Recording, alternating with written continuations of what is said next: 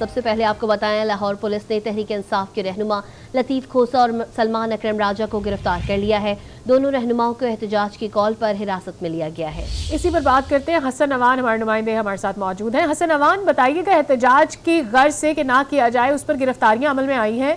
क्या पुलिस का कोड है इस पर?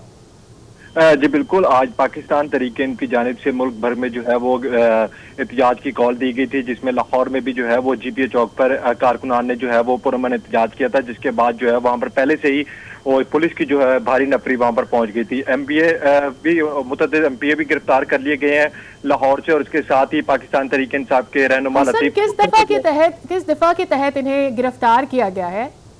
देखिए जी दफ़ा तो कोई भी नहीं लगाएगी इसके ऊपर, क्योंकि पाकिस्तान तरीके इंसाफ जब भी प्रोटेस्ट करने के लिए पुरमन प्रोटेस्ट करने के लिए बाहर निकली, हमेशा ही उसको रोका गया। इससे पहले इलेक्शन के कबल भी उन्होंने प्रोटेस्ट किए थे, तब भी गिरफ्तारियाँ उनकी की गई थी। अब भी मुल्क की एहतजाज उन्होंने धांधली की इलेक्शन में जो धांधली है, उसके मुताबिक जो है, उन्होंने कहा था कि हम जो है, वो मुल्क भर में एहतजाज करेंगे। अभी रात ही ऐलान किया गया था एहतजाज का, और आज जो है, वो सुबह उन जगहों पर पहले से ही पुलिस मौजूद थी। जमान पार्क हो लिबर्टी चौक हो जीपीओ चौक हो, लाहौर प्रेस क्लब हो उन तमाम पर जो है वो पहले से पुलिस की नफरी जो है वो तैनात कर दी गई थी।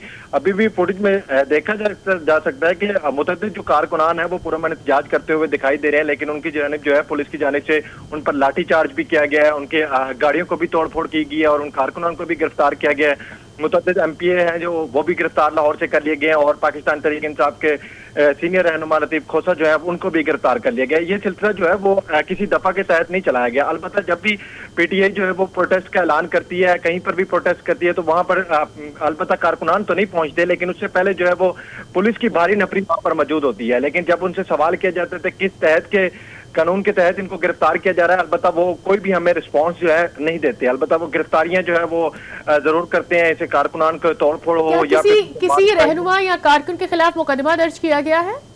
देखिए जी अभी तो फ़िलहाल तो किसी कारकुनान की जानब से जो है वो मुकदमा दर्ज नहीं किया गया पुलिस की जानब से। अलबत्ता गिरफ्तारियाँ तमाम कारकुनान की जो है वो की गई है। चैलीबर्टी चौक थाने मुंतकिल किया गया है रहनुमाओं को? कुछ बताया गया इस हवाले से?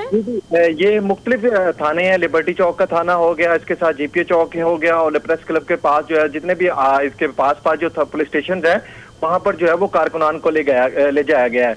एहतजाज पर लाठीचार्ज किया गया और लतीफ खोसा और सलमान अक्रम राजा को गिरफ़्तार कर लिया गया है। अपडेट कर रहे थे हसन अवान बहुत शुक्रिया आपका।